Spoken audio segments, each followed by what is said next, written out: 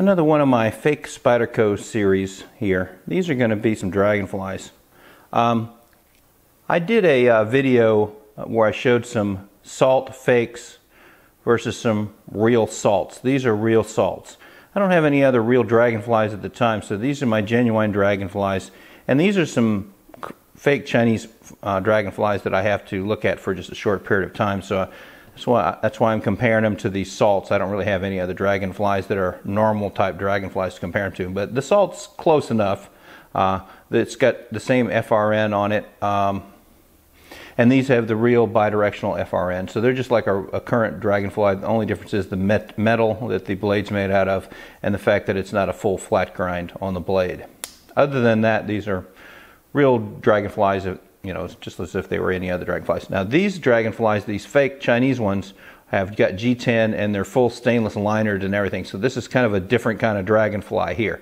These are uh, Dragonflies though that I just got uh, from China directly. So I'm going to pull off one of my uh, dragonflies off to the side, real ones, and sort of go over a comparison of these things real quick. Let me take this guy and just sort of put him in the back row here. These are G10. The G10 is kind of soft. It does not have much texture on it. It's very smooth. I mean, not super smooth, but it's got a surface texture, but it doesn't have the bite that you feel on Spydercos.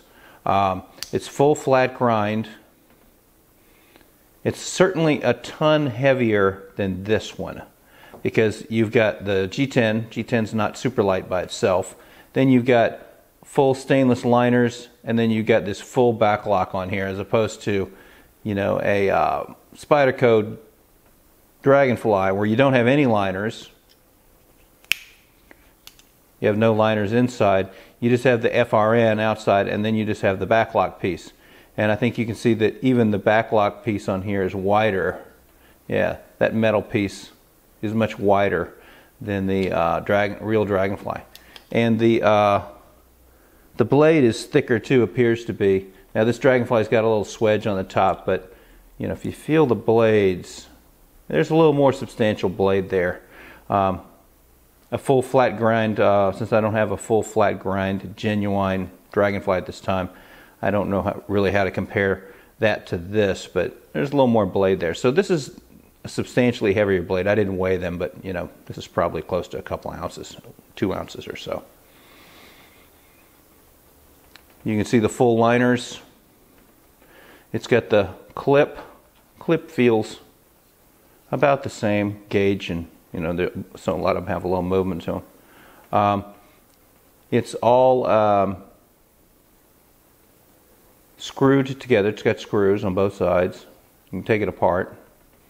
Uh, it's got the got pretty good jimping, adequate jimping.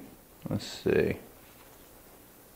Not quite as good as it's a little slippier than the Spyderco jimping, but not a whole lot. I mean, it's you can see it's a lot bigger. The pattern is it's about half as much, half as many cuts as on a Spyderco. That may be part of it. It definitely doesn't feel, this really grabs you. Let's see if the jimping on the bottom, yeah, it's about half as many on the bottom too. The biggest thing about the knife, now you got to remember that these knives are only about seven or eight dollars. And I would say this is probably the reason why I'm showing this. I wasn't going to make one on these uh, um, little fake uh, dragonflies. These would be good gift knives for somebody other than the fact you're gifting them something that's got, you know, a counterfeit um, you know, it's counterfeited. But uh, other than the fact that there's two problems with this, which is common to backlock um, Spydercos. Um, I did have some Enduras that I showed, which were pretty good knives and felt pretty good. But these things are really, uh, this is the best one of the bunch. They're very, the action on them is very rough. To probably make this into a really nice knife, you'd probably want to take it apart and smooth whatever rough edges are in this lock facing, the tang face of the blade and the, uh, the back lock face. There's something in there that's really rough and is, is making this feel rough. Uh, you can see that the fit and finish on these things is not quite Spyderco quality. Like you can see this gap here.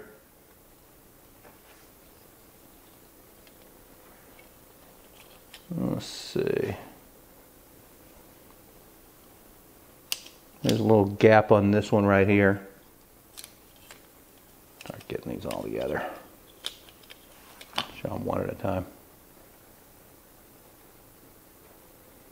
You can see there's a space here. They're just not quite, they're not bad. For the price, they're absolutely fantastic. Uh, the other little problem they have, which is common for backlock clones, Chinese clones, is that you open them up and they get the lock to disengage and this Boye dent is cut way down. I think that's their problem is they cut this, they cut it twice as deep as they should. You know, the, the idea of this little Boye dent here, David Boye dent, is that if you're using the knife, you don't accidentally trigger the uh, backlock, which I think is really, I don't, I'm not sure I believe any of that. So I've never done that on any knife without this on there, but that's why they've got it on there. But the problem, eh, now it works fine on a Spyderco. So here's a Spyderco. It's still cut pretty uh, deep. And it disengages easily, even with the, with the dent, with the Boye dent cut in it, the lock disengages easily. The problem with the uh, fake Spydercos is that um, you got to push down on them, and that's how uh, it still hasn't disengaged. It's still caught right there. You got to push all, I mean, it has to be bottomed out in there. And then a little extra push. So there's just, uh, I think they shouldn't have cut this dent quite so far. There's something about they don't understand about this. Now, one out of these three actually behaves relatively uh, good. That's this one in, in that concern. But it also feels like it's like when it first starts disengaging, it's really, it's, I think there's something wrong with it is why it's doing that because it's really kind of got a moving around there where it should be either in or out. It's kind of half in, half out. Doesn't feel right. Uh, as opposed to this guy, which disengages cleanly and locks up cleanly. There's not, none of this like, you know, I push a little bit and it's like almost disengaged. So the one that feels the best out of these, I think, has really got a problem.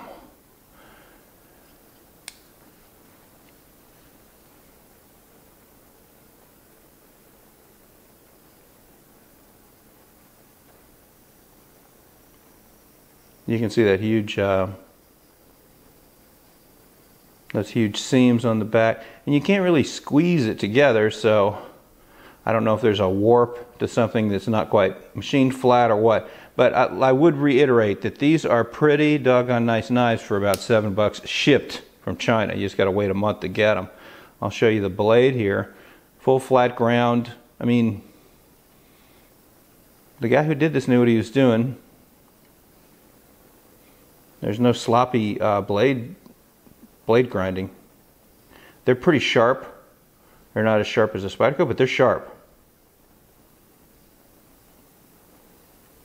Nothing sloppy about the knife other than it's got some quality control issues that are related to how much money they're putting into this knife. But uh, of all the knives out there, these are some of the best deals going. If you want a nice pocket knife that you can live with the problems, especially if you wanted to take it apart and possibly stone, take a little, you know, a uh, sharpening stone or a piece of ceramic or something and clean up some of the rough edges on the inside of this knife and make it smooth. And you might be able to even figure out what's going on with this back lock, why it doesn't disengage cleanly.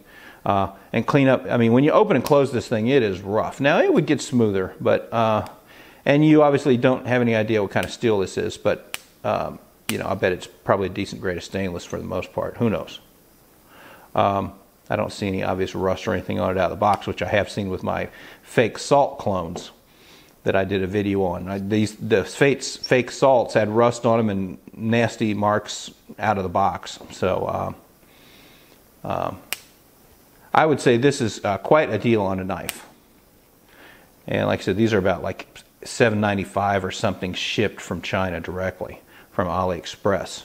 So uh, you get a VG10 knife, all stainless, probably stainless, uh, probably you know 440 something, or maybe um, probably 440 something or 8CR13 MOV, some kind of steel along those lines. Um, very nice knives for what you got, what you pay for them.